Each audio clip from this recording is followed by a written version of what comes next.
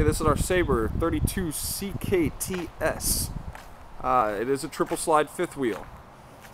Uh, some of the outside features, you have the electric landing gear in the front along with docking lights, so in case you're doing this at night, you'll be able to. You have three access points to the undercarriage storage.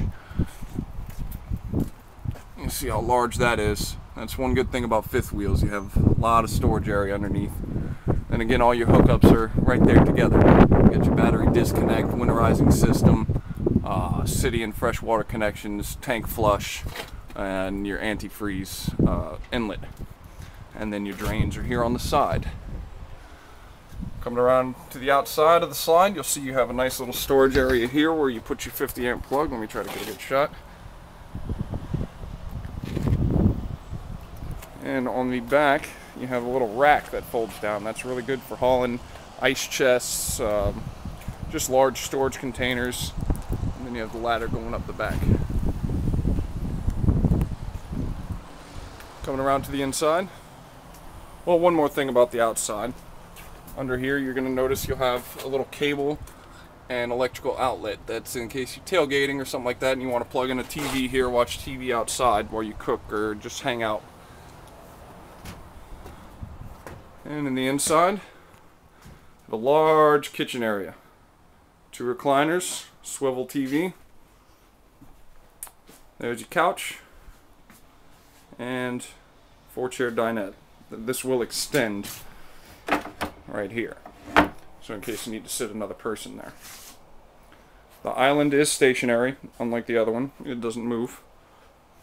Still the same thing, three burner stove, oven, microwave, I believe that's a 32 or a 36 inch. Then down here you have your control panel. This little blue button right here, that is a Bluetooth feature. You'll be able to hook up your iPhone to it, make calls through the speakers that go throughout the camper, or just play music straight off your phone. And again, a fireplace. You got storage above. Lots of storage above. And then over here by your sink, you have a lot of cabinet space also.